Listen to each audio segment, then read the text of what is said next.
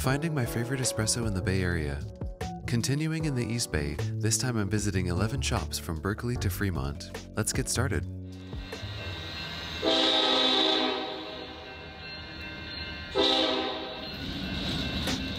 Set 4 starts in Jack London Square in Oakland at Bicycle Coffee. Named that way because they deliver beans to local coffee shops on a bicycle, they now have an international presence. I also had a great first impression there because they were playing Nick Drake as I walked in. How does it taste? Wow, that smells really good. It smells kind of floral, but rich and tangy too. Wow, there's a lot going on. It has a good acidity up front. You definitely know that you're drinking espresso. It has an earthy flavor, but also a noticeable sweetness. That hint of a floral taste right at the top. It's subtle, but it adds a layer of dimension. The texture is pretty light, smooth, it's easy to drink, and the aftertaste is really pleasant. There's not a lot of aftertaste, but what is there is quite nice. It reminds me that I should keep drinking. Down the street is Peerless Coffee and Tea. It smells a little bit like a darker roast, but not quite as nutty as some of the other darker roasts. Yeah, there's almost like a roasted nut buttery flavor. Creamy. Oh wow, that's interesting. Wow. It's almost like cookie dough. The sweetness. It has a really thick, creamy body. Really delicious. It does feel like a darker roast. There's definitely that heavily roasted flavor, kind of roasted chestnut or other nutty flavors. The texture is just so full and rich. It's so well balanced. Usually, dark roasts to me are just overwhelmingly bitter with that roastedness, and it kind of overpowers the rest of the flavor, but there is a lot of depth and balance to this one. Last in set 1 is Hasta Muerte Coffee. It's an actively inclusive co op known for its empanadas and small bookstore in addition to coffee. Mm, that smells really balanced, tasty. Oh, interesting. There's a little bit more sour in the flavor profile. I like it. It's a really well roasted coffee. It's got nice acidity, not too much, but definitely like a tangy, kind of citrusy feel to it. I'm getting citrus notes, like lemon, orange zest. More lemony, actually. A pretty bright flavor. If I had to complain about something, it would be that there's not a ton going on at the base of it. It's very bright, airy, a lot of high end, a lot of mid range, but kind of falls flat like four to five seconds after I sip. That is really good though. Alright, let's talk winners. All three places were really good. But to me, Bicycle had the most depth of flavor. I really wanted to drink more of that shot. It was well balanced, tasted super fresh. And for those reasons, Bicycle wins it for me.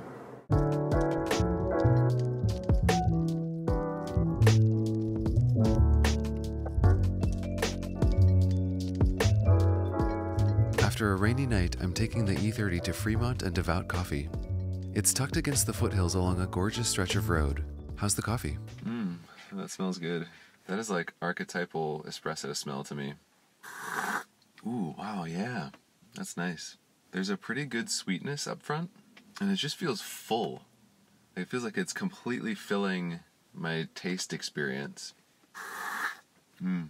It has some floral notes, a little bit of mm, maybe lavender, but it's not too flowery. It's really well balanced. There's a good bright acidity up front, but it's definitely not too much. There's also like a soft quality to the mouthfeel. It's really like it's not delicate, but it's soft. Like a like a like a stress ball almost. There's a lot going on, but none of the flavor elements feel like they're competing with each other. It's a very well constructed shot.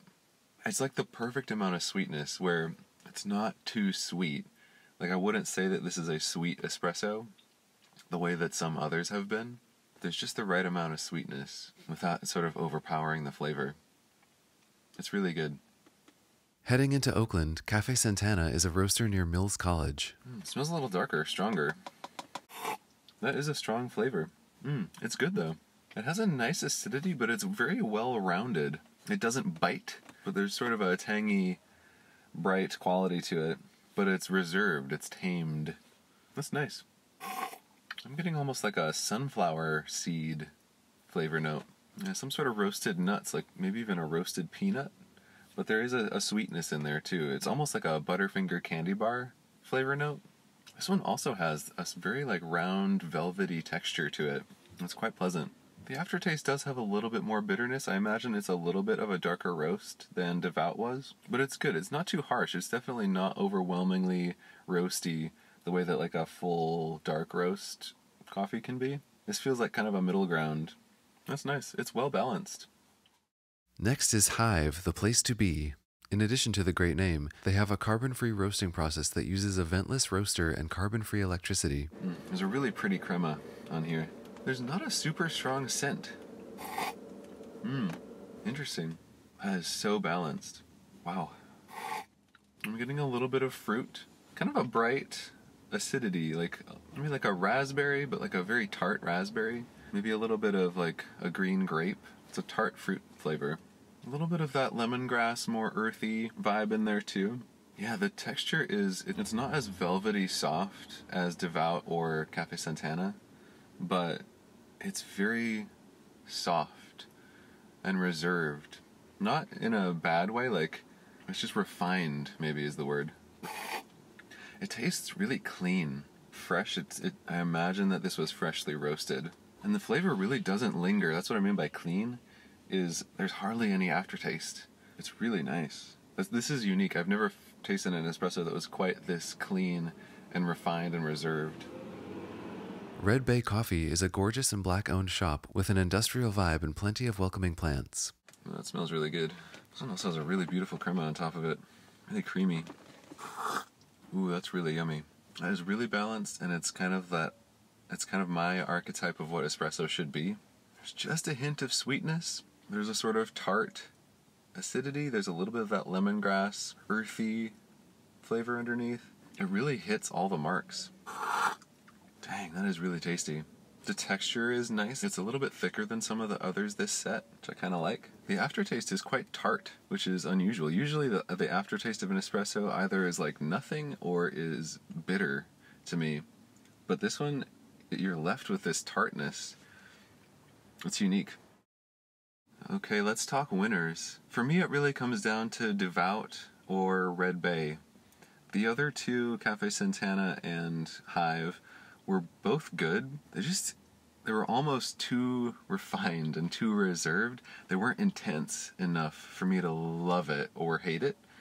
They were good. I imagine both of those espressos would take milk really well for lattes and cappuccinos and that sort of thing. But as a plain espresso, Devout and Red Bay had very similar flavor profiles. They tasted like my archetype of what an espresso should be. Really balanced, but a lot going on. And it's really coming down to the texture. I can't really distinguish between them on flavor alone. And for me, Devout just had this super velvety, rich mouthfeel to it to me that I've never really experienced before. I've experienced things like that, but this was just kicking it up a notch. It was a really interesting texture, delicious flavor, of course, but it's really the texture that makes Devout win it for me.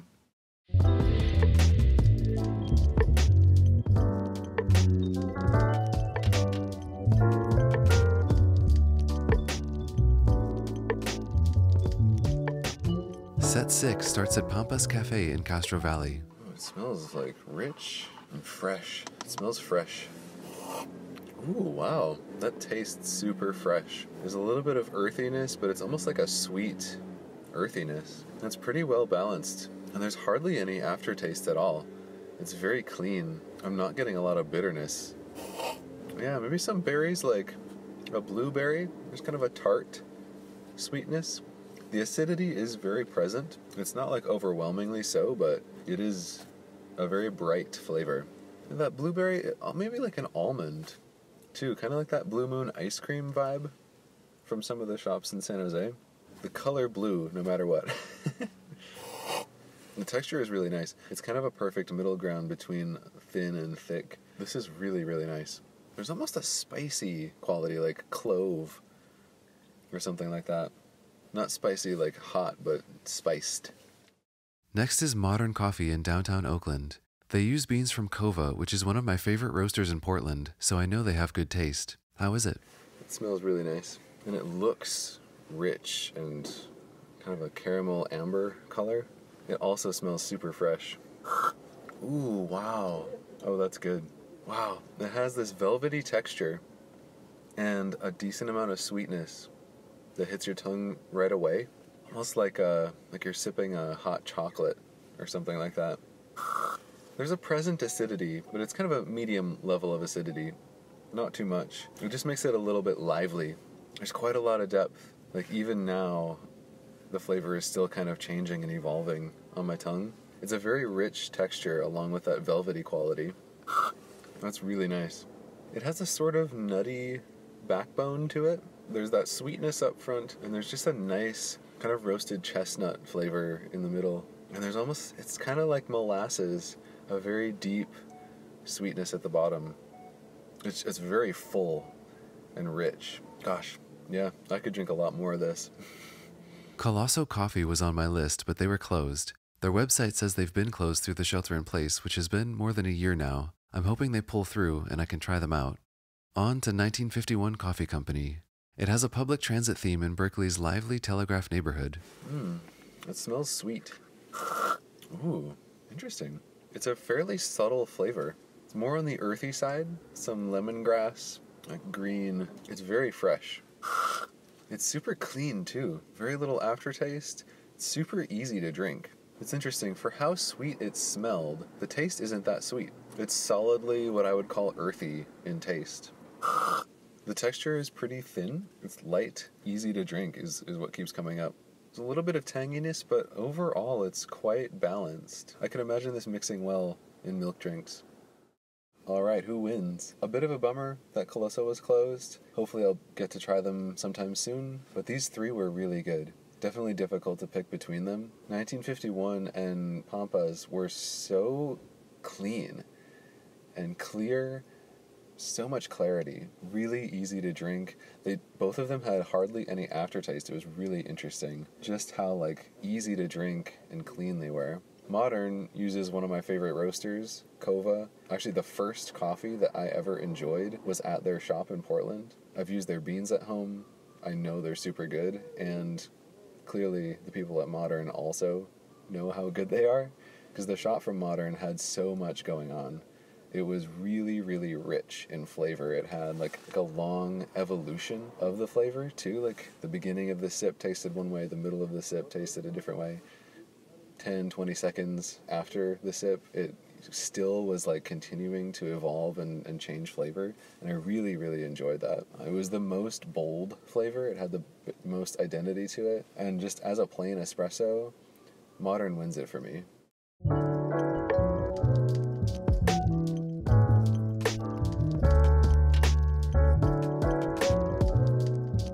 winners of sets 4 through 6 are Bicycle, Devout, and Modern. And that completes round 1 in the East Bay.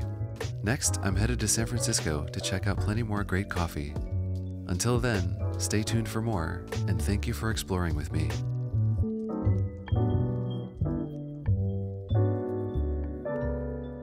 I really can't distinguish between. It's a really loud train.